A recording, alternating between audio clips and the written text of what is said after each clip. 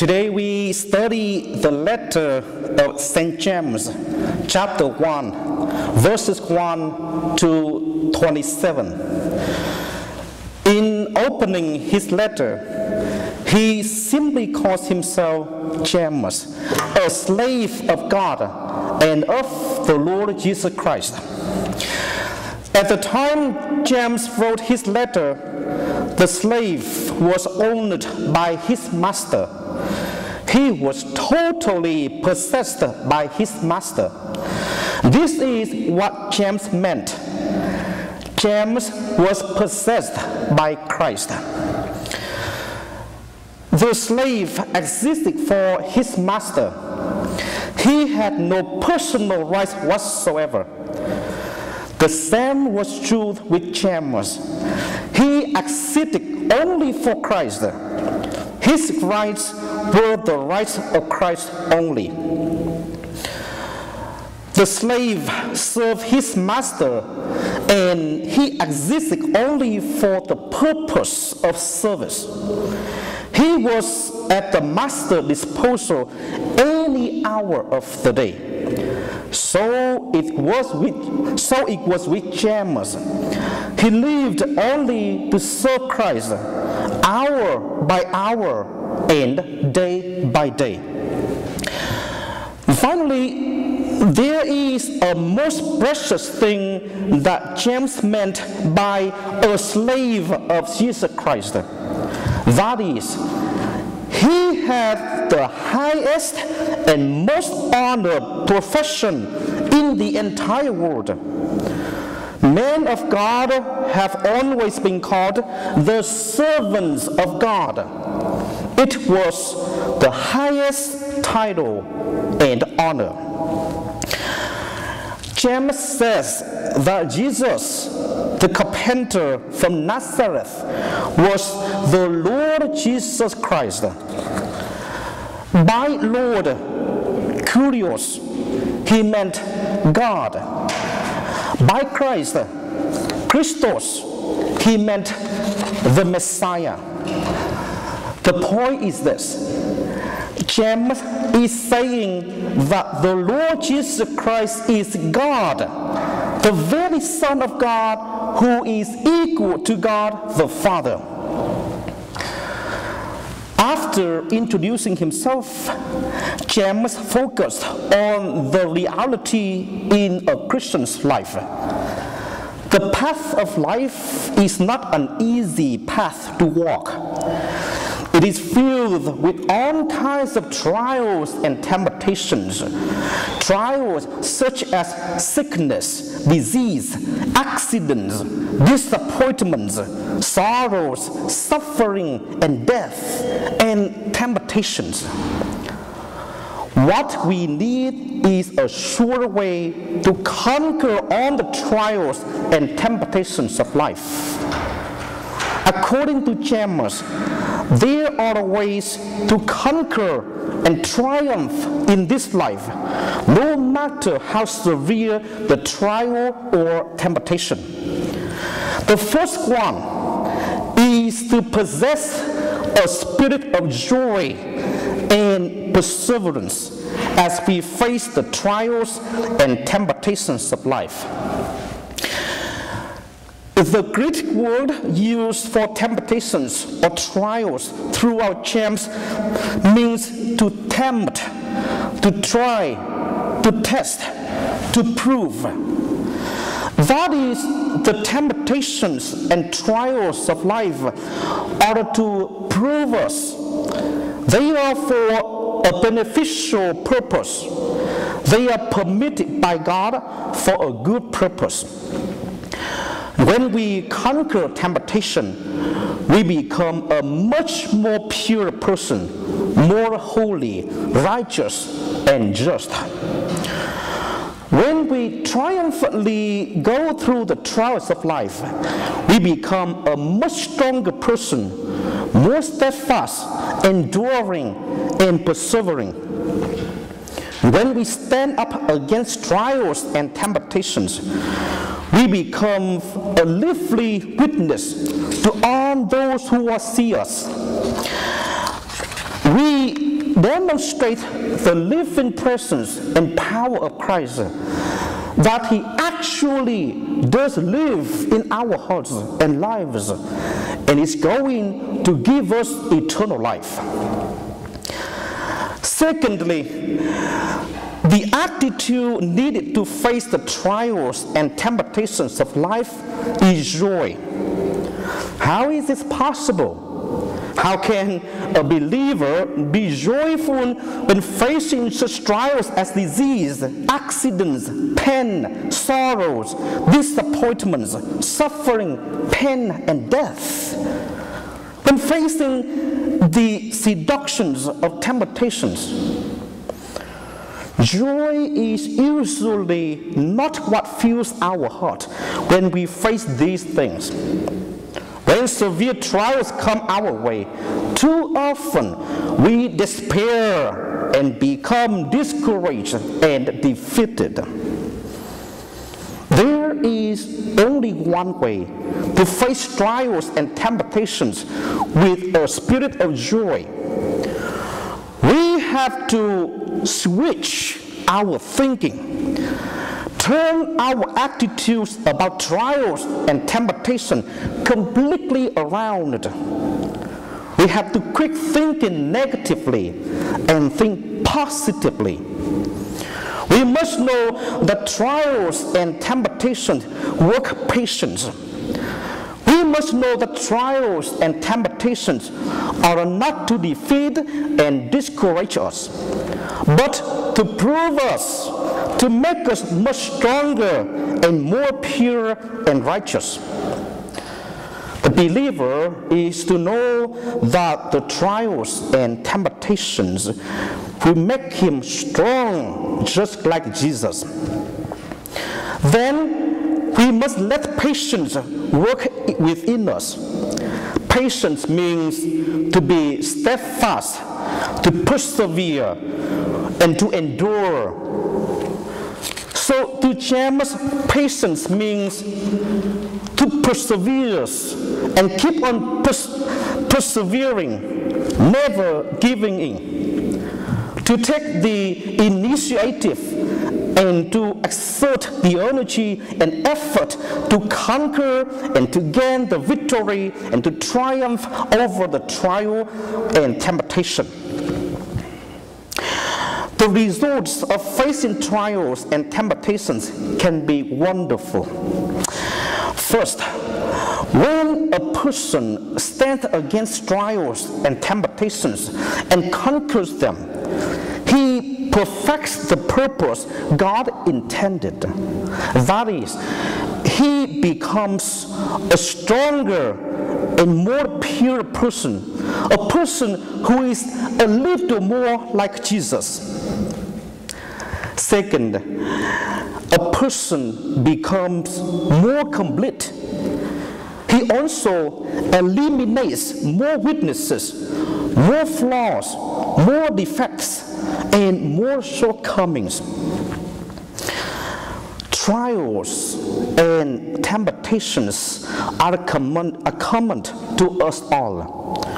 We all suffer such trials and temptations as pain, lust, disease, divorce, loss, cheating, hurt, greed, accidents, death, sickness, separation, disappointments, immorality, emptiness, anger, loneliness, lying, how can a believer conquer trials and temptations? First, he must ask wisdom of God according to St. James. Wisdom means far more than just knowledge, far more than just being intellectual about life or some area of life.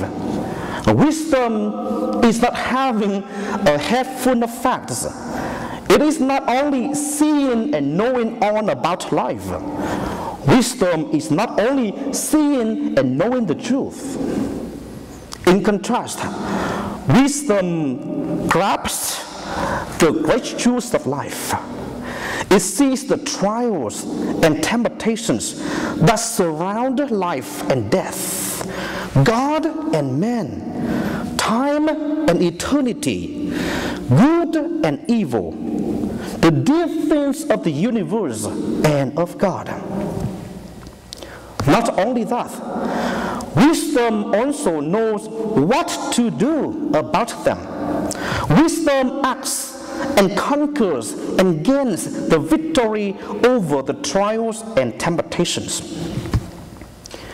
Asking wisdom of God is the way to conquer the trials and, and temptations of life. When we ask God for wisdom, God will give us wisdom. God will give us an abundance of wisdom.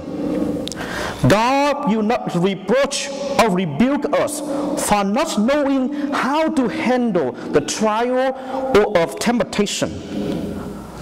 The idea is that God will not even question us for lacking wisdom and for not knowing what to do. God loves us. We are His sons and daughters. He is our Father, and He wants to meet our every need. Therefore, God will hear our request. He will give us the wisdom to conquer the trials and temptations of life. St. James advises us that when we ask God for wisdom, we should ask in faith. In other words, God cannot hear and answer a person who wavers in his faith. We must believe that God is, that He exists, and that He does love and care for us, and that He will hear and answers us when we ask for wisdom to face the trials and temptations of life. Then St. James gives us the second aspect of how a believer can conquer trials and temptations. That is, he must rejoice in his status in life. It does not matter whether a person is poor or rich, healthy or unhealthy, he is to rejoice in the Lord. First, the believer of lowly status is to rejoice in the Lord. This does not mean that he is to rejoice because he is poor, unhealthy, or crippled. It means that he rejoices in Christ despite the circumstances, no matter how terrible. Every human being, no matter how lowly, is needed to make his contribution to society and the world. Rejoicing in one's status in life is one of the ways to conquer the trials and temptations of life. Second, according to St. James, the believer of rich or high status in life is to rejoice in that he is made low by God. First, a rich a high person is not accepted by God because of who he is or what he has. His rich and high status means absolutely nothing to God. The rich and high have to approach God as nothing and as having nothing. Approaching Him as the little children, poor and without anything.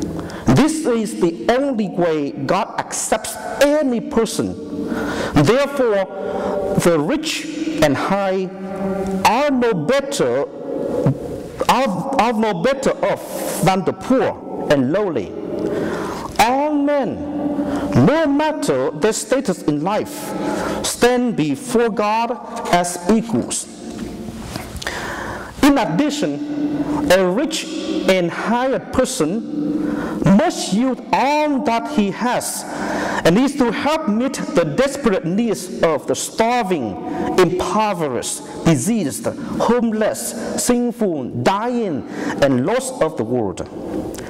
James emphasizes this fact cannot be neglected, ignored, or explained away. St. James continues to give the third aspect of how can a believer conquer trials and temptations. That is, he must remember the reward for enduring. He shall be blessed and shall receive a crown of life. The person who endures temptations shall be blessed this refers to this life, to the here and now. It can be in word and spiritually joy and satisfaction, an inner assurance and confidence that carries one through all the trials and temptations of life, no matter the pain, sorrow, or grief the person shall receive the crown of life in the next world. The person who loves the Lord is the person who endures. He is the person who is faithful to the Lord. He follows and obeys the Lord, doing all that the Lord commands. He follows Christ, obeying his commandments, and enduring all the trials and temptations of this life. In the next section, St. James helps define for us where temptation comes from. Sometimes the desire and craving for things upon the earth are almost unbearable. We see something and we know that it is wrong, that we should not have it or do it, but the desire and craving becomes so strong that we can hardly stand it.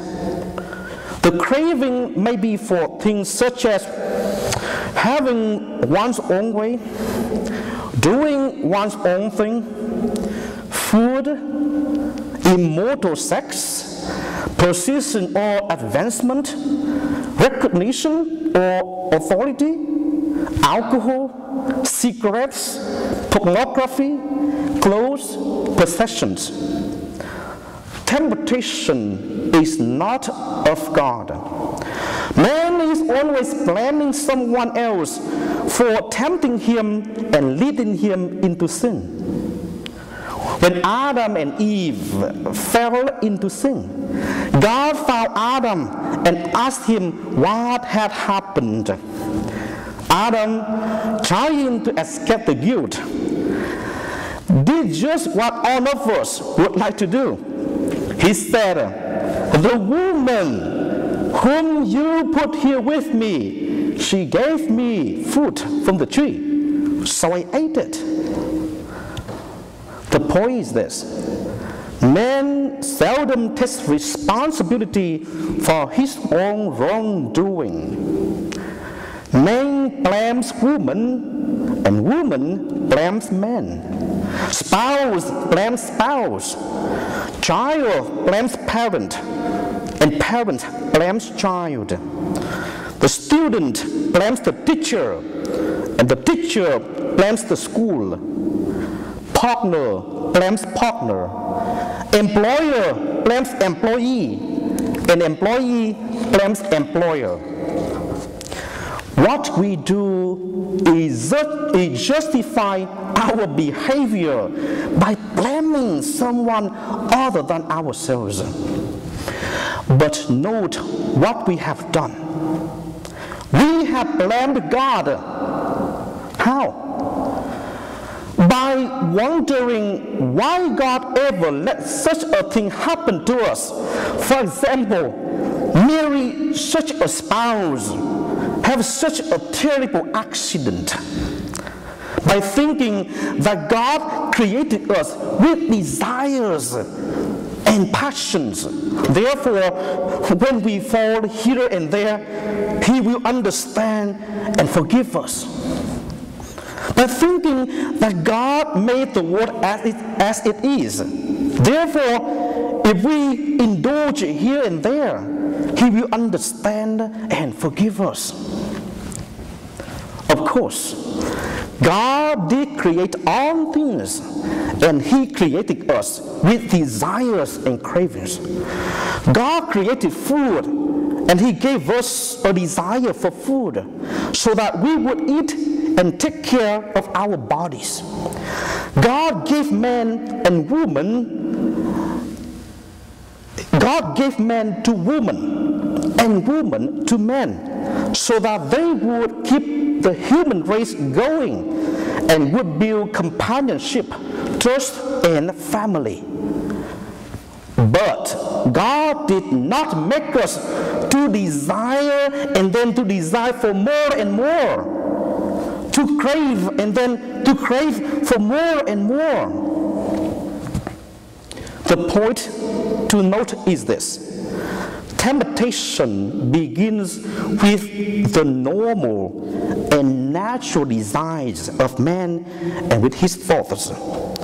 A person sees, smells, tastes, hears, touches, or thinks about something, something that is forbidden and harmful, and he fails to turn away and flee from it. Instead of fleeing, the person allows his mind to conceive the thing. He pictures the pleasure and begins to desire or lust after it. Sin is born. The wrong is committed right there in his mind. His heart is set upon the forbidden thing. He may never do the act, but he would if he had the chance and courage. There are some suggestive ways to overcome temptation. If the temptation attacks our thoughts, then we must push the wrong thought out of our mind and then begin to immediately focus our thoughts upon Christ and some passages of Scripture the temptation comes from some attraction to our sense, seeing, hearing, tasting, and touching, then we must turn our head or body away and flee the temptation. Then, immediately, we must focus upon Jesus Christ and prayer and review some scripture passage. St. James affirms us that there is the result of lust and enticement, death. Man dies physically, spiritually, and eternally because of sin. When God created man, He did not create man to die. Man had chosen to die, and he dies because of sin. Finally, in a very descriptive passage, St. James suggests there are several preparations that must be made in order to overcome temptations. First, be quick to hear the word of God. The greatest temptation in the world is for a person to walk through life doing what he wants to please in that way, ignoring, neglecting, and rejecting God.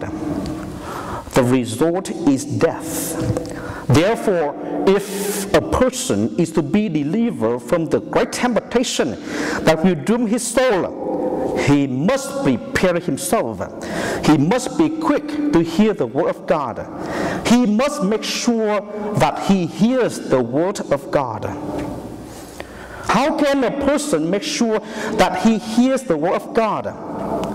St. James gives us some suggestions. He must be slow to speak.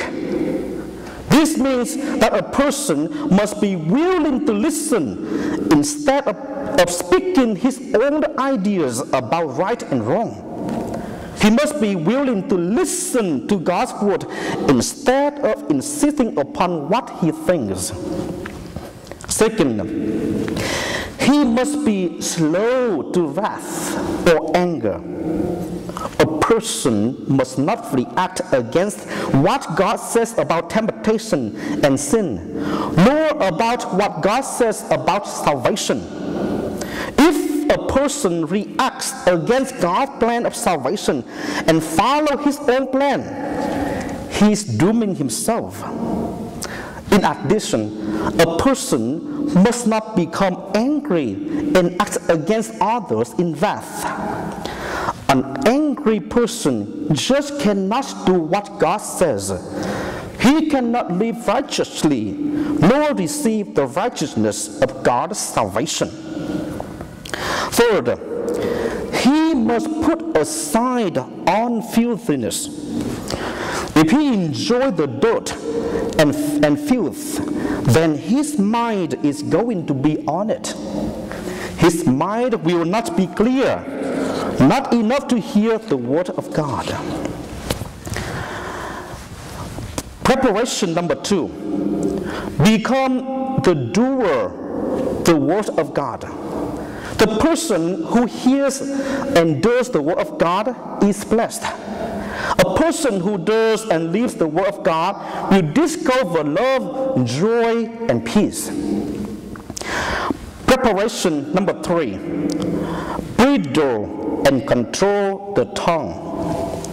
If a person thinks that he's, he's religious and he does not bridle his tongue, he deceives himself. No matter what he thinks or professes, his religion is empty. He does not please God. Preparation number four practice pure religion and visit the needy. This certainly would apply to visiting all who have need within a community. Those who are orphaned, widowed, shut in, bedridden, lonely, newcomers, fatherless or motherless, grieved. Whatever the need, God expects us to visit them. He expects us to reach all within our community. And in the final point, St. James suggests a person must keep himself unstained from the world. Jesus said in the Sermon of the Mount, Blessed are the clean, blessed are the clean of heart, for they will see God. So to conclude our lesson today, remember that Jesus very word on the mount and bless us all the way if we can keep our hearts clean and understand from the word, for we shall see God. So thank you very much for listening our lesson.